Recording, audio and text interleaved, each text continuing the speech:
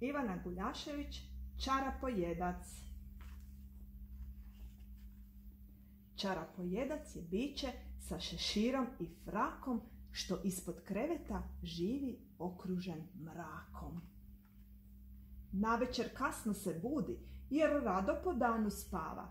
Večerak umjesto doručka traži, od gladi ga boli glava. Čarape traži i voli jer one su njegova hrana, šarene, crne, žute, nijednoj ne nalazi mana. Kako on čarape traži, također važno je reći. To nisu one u ladici, već one na podu, pod stolom, iza peći. Iz para, gdje čarape su dvije, uvijek samo jednu smaže, pa se skriven pod krevetom smije, dok ljudi baš tu čarapu traže. Često on samo glicne, malo za prste ili za petu, da čarapin okus proba i napravi bar malu štetu. Izbilja je najbolje mjesto gricnuti za petu ili za prste, jer tu se najbolje razlikuju razne čarapaste vrste. Neki tvrde da čarape i u perilici rublja traži, ali to nije provjereno, pa nećemo širiti laži. Svaki čarapojedac koji drži do svog zvanja nikad ne krade čarape, složene uredno i nakon pranja. Bez puno razmišljanja, čarapojedac će pojesti s mjesta, samo odbačene čarape, zgužvane i bez svoga mjesta. Imati čarapojedca u kući i nije neki štos, jer on čarape svaki dan jede i uskoro ćeš hodati bos. Čarapojedca se otjerati može i nije to nikakva frka ako se čarape uredno slažu i pod se sladicom ne brka. Čiča miča, gotova priča. A priču vam je pročitala knjižničarka Vjeruška. A ovo još trebate znati o čarapojedcu. Poslušajte. Ne smiju biti viđeni. Iz para čarapa uglavnom se jede samo jedna, a ne obje. Čarapa koja je na nečijoj nozi ne jede se sve dok ju dotični ne skine. To je dobro znati. Uredno složene čarape se ne jedu. Čiste čarape iz perilice rublja se ne jedu. Sve čarape koje su bačene po podu, zagurane po naslonjačima i na sličnim čarapama neprimjerenim mjestima dostupne su i smiju se jesti. Boja i šare utječu na okus čarape. Vrijeme nošenja, takozvani pac, jače poboljšava okus. Najbolje su pamučne i vunene čarape, a sintetičke nisu na cijeni. Najbolje mjesto za grickanje radi isprobavanja okusa čarape su peta i prsti. Čarapojedci se bude navečer i hrane noću, pa se njihov doručak naziva večerak. Najbolje čarape su dječje. Gurmani među čarapojecima smatraju da su čarape sportaša i bubnjara posebno delikatnog profinjenog okusa. Čarapojeci rijetko piju tekućinu, gotovo nikad. Znoj sa čarapa daje im saftnost. Hmm. I ovo je zanimljivo. Čarapojeci uglavnom žive sami u nekom domu, nisu društveni i ne vole dijeliti prostor. Mali čarapojeci vrlo brzo odlaze od kuće. A veliki su šminkeri i uređuju se svaki dan, iako ne žele da ih netko vidi. Čarapojeci su uredni i vrlo pristojni i često imaju izražene dobre manire. Životni vijek im je jako dug, sto godina i više. Kad jednom nađu dom, teško ga se odriču. Može ih se otjerati samo urednošću, to jest tako da se čarape uredno slažu i ne bacaju po podu. Čarapojeci vole i prašinu pod krevetom, zato što od nje rade mekan i udoban krevet. I uglavnom žive ispod kreveta, a u rijetkim slučajevima se smještaju ispod ormara ili u pukotinu zida. jako se boje usisavača. Mogu postati nevidljivi za nekoliko sati i ne zna se kako, se to, čini, kako to oni čine. Tihi su, imaju razvijen smisao za humor, gotovo ih je nemoguće vidjeti. U dobrim su odnosima sa svim čudovištima ispod kreveta, a nisu u dobrim odnosima s miševima. To da imate čarapojeca u kući znat ćete po nestajanju čarapama i po rupama na prstima i peti. Evo ga, to je sve što trebamo znati o čarapojecima.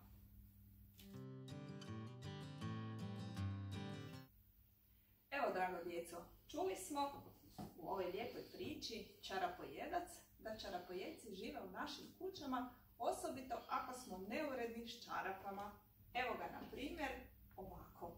Imamo jednu košaricu koju bi trebali biti lijepo poslagane čarape, ali gledajte što se sve s njima dogodilo. Ima ih i po podu. I to je moguće da će nam doći čarapojedac i te čarape nam čaknuti, pojesti i nestaće, nećemo ih više imati. Sad ću vam ja pokazati kako vi možete uredno lijepo složiti čarape u košaricu. Znači imate jednu čarapu, pronađete istu takvu i drugu čarapu jer imamo dvije noge pa nam trebaju dvije čarape. I ovako složite jednu na drugu čarapu i ovako lijepo zarolete, zarolate, zarolate kao hrenovku u tijestu. Uzmete ovako, ovako rup čarape i preokrenete i evo ga, dvije čarapice su uredno spremljene. Evo ja ću je složiti u kuticu. Pa ćemo ponoviti. Evo ga, jedna čarapa, druga čarapa. Rolamo, rolamo, rolamo, rolamo, zarolamo. Primimo ovu. Otvaramo čarapu. Stavimo ovako. Evo ga. Idemo ponoviti još jedan put. Koliko čarapa, samo mi je ovako neuredno, pa ja ne znam jer... Dobro da nije čarapojedac ih namirisao i sve ih. Evo ga. Vidimo, imamo još. Imamo, opa, Evo ga, to vam je stvar prakse. Što duže to budete radili, vježbali, bit ćete uspješni. Evo ga. O, još jedan par čarapa. Evo ga. Evo ga. I ovaj uredno. Evo, lijepo su. A, ups, tu mi se nešto dogodilo. Imam nekakve dvije čarape. Izgleda da ipak i ja imam čarapojeca. Ovdje u knjižnici. Jedno, gledajte što se dogodilo šta ćemo sad s tim čarapama? Mislim da znam. Nešto ćemo mi s njima iskoristiti. Na primjer ovako. Podsjeća me na nekakvu lutku zjevalicu. Bog, Bog, pa ko si ti? E, ja sam, ja sam Čarapčić i došao sam ovdje u knjižnicu malo se s vama poigrati i pročitati koju knjigu mogu li? Naravno da možeš. Evo ga, od čarape možemo za čas napraviti lutku zjevalicu. Imamo još jednu čarapu.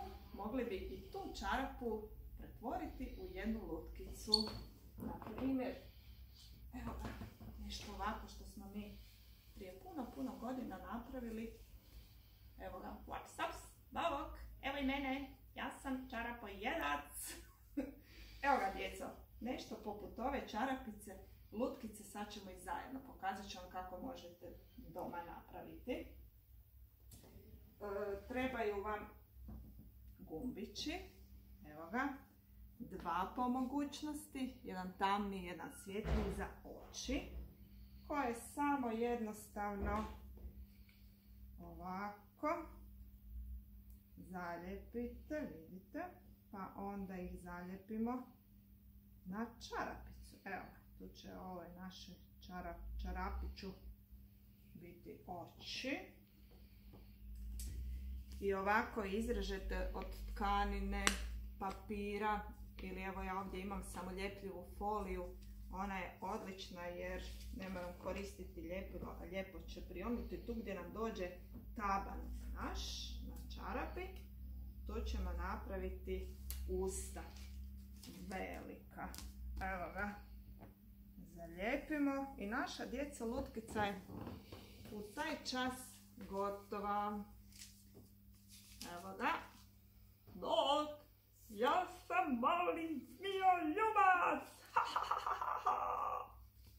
Evo ga, možete mašti, nema kraja. Koliko takvih rasparenih čarapa imate u kući, možete s njima napraviti lutkice, zjevalice, a možete onda napraviti nekakvu malu predstavu, kao što su naši korisnici Anja i Noa napravili, što možete pogledati u filmiću koji slijedi. Pozdrav! Pozdrav, ja sam Anja. Bože, ja sam Čarapanica, a ovo je Črpanko. Danas nam Čarapanko slavi rođendan i moramo mu naručiti tortu. A mi nemamo tortu, a nemamo ni dućane. Ne smijemo ići u dućan zbog korone virusa. Čarapanko, gdje si? Kako ćemo ti ča- e, e, naručiti tortu? Vatrogastima, ajmo. Idem ja nazvati ča, uh, vatrogasce. Jedan, jedan, dva. Halo? Možete nam donijeti tortu jednu? Da. Hajde, molim se. Donesite nam menino, menino. Evo, Tonto. Hvala ti. O, stigla mi je Tonto. Super. Hoćemo pojesti. Njam, njam, njam, njam, njam. njam. Ali nemojte svaki put vatrogasce zvati za bilo što. Samo I nemojte slučajeve. I, sad. I nemojte svat ako je požar samo sa